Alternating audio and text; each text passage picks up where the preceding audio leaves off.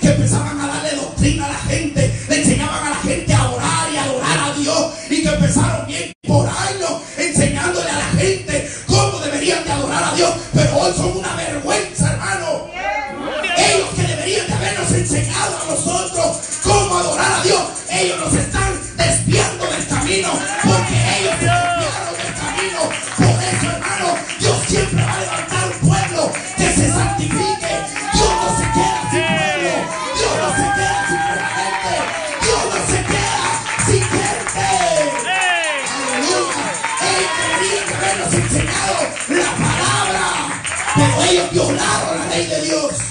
Santo Jehová. Violaron su ley, hermano, contaminando el santuario. Hoy viene la fiesta pagana y todo el mundo celebrando en la iglesia la fiesta pagana. Terrible. Comunión hay entre la luz y la tiniebla, hermano. Si la Biblia dice que el mundo nos aborrece. Amén. Y ahora la gente celebrando lo mismo que el mundo hace. La iglesia también. Si la Biblia dice que el mundo nos aborrece. Cierto. No, pero la iglesia como, como le gusta el mundo. Ajá. Y entonces buscan sus versículos y le dan vuelta para enseñarle a la gente que eso es bueno. Ajá. No reprenda al diablo, hermano. Es como la fiesta pagana de Navidad. Muchos muchos la celebran. Ajá. Pero no leen la Biblia. Aleluya. Jesús. Supongamos, supongamos que Jesús haya nacido. Y hasta le voy a decir, supongamos que nació en diciembre. Supongamos, yo sé que no es verdad. Porque. La Biblia no lo dice. Amén. No lo dice. Que tiene que hacer un árbol de Navidad en mi casa. Ajá.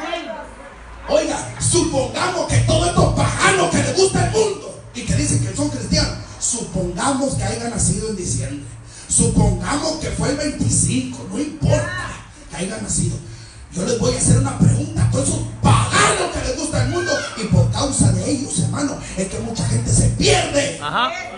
porque los tuerce, Cierto. porque viola la ley de Dios. Miren, supongamos que fue ese día. Cuando Jesús ascendió al cielo, los apóstoles celebraron alguna fiestecita. Ajá. La iglesia primitiva la celebró. No.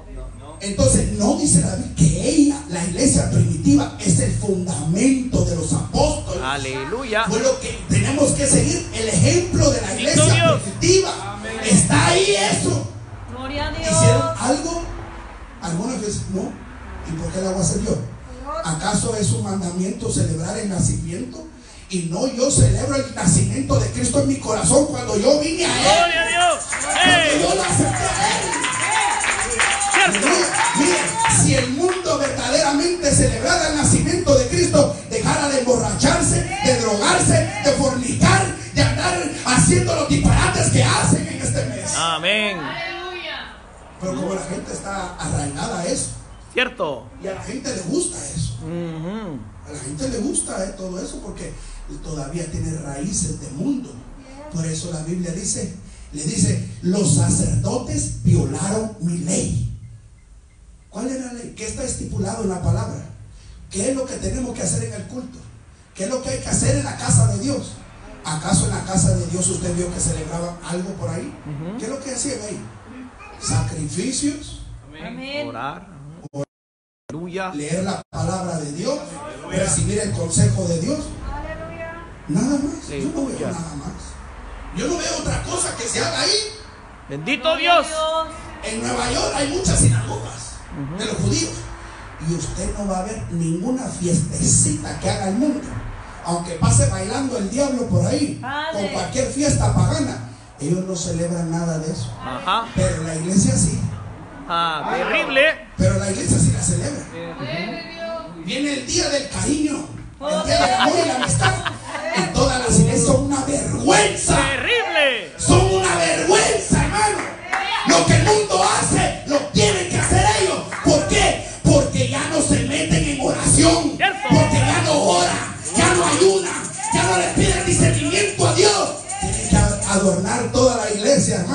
de corazoncito y ponen a escupido ahí. Ay, ay, ay. Que los escupa.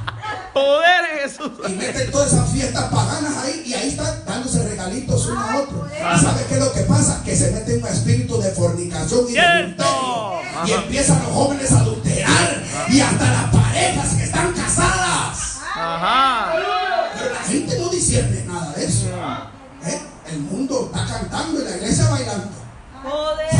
Mundano allá con los discos eso y la iglesia comprándolos. Ajá. Porque hay muchos que dicen es que la- toda la música la hizo Dios. Toda la música, sí, pero el diablo la extorsionó. La- el diablo la hizo para él porque toda esta guerra, toda esta pelea, es que el diablo quiere que lo adore.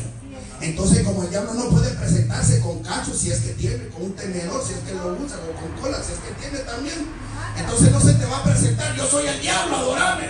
Se tiene que disfrazar. Tiene que usar una artimaña para que lo adoren. Dios reprenda al diablo.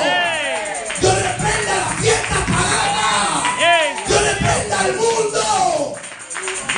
Aleluya. La Biblia dice, no améis al mundo. Cierto. No dice la Biblia eso.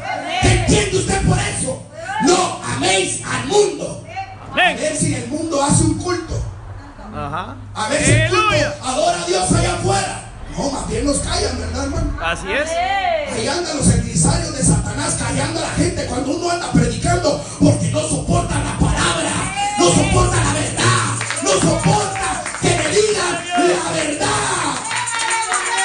Aleluya.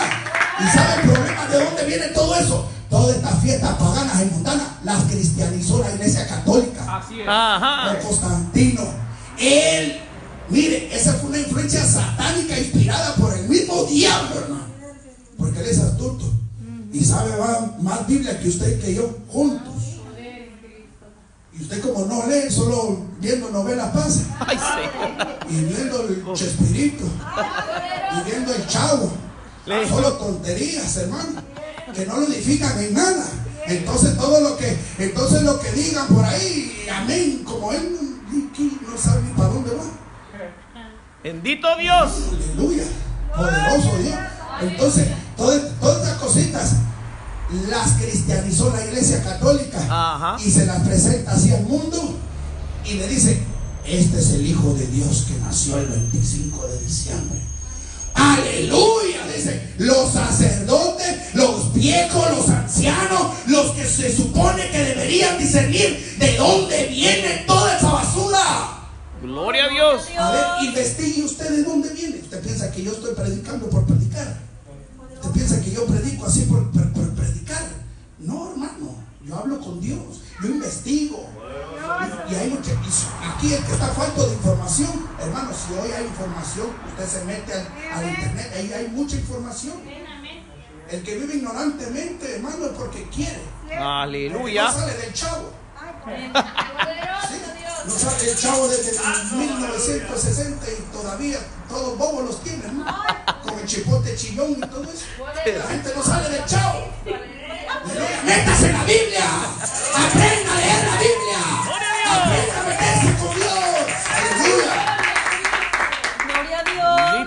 Gloria yo de he Dios. conocido gente que quiere que Dios la use, pero no pasan de la tele, no dejan la tele, hermano.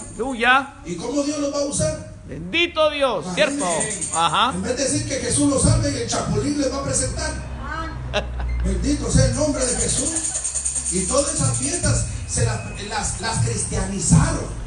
Y ahora, y ahora aquellos, los sacerdotes, los ancianos, los viejos, ellos se suponía que deberían de investigar de dónde viene todo eso. Amén y, decirle al pueblo, tengan cuidado con lo que están haciendo, tengan cuidado con lo que hacen. Porque la gente piensa que el Evangelio aquí uno puede hacer lo que uno quiere. No, hermano. Aquí no se hace lo que uno quiere, ni es como yo creo, ni es como yo pienso. Aquí se hace lo que la Biblia dice, lo que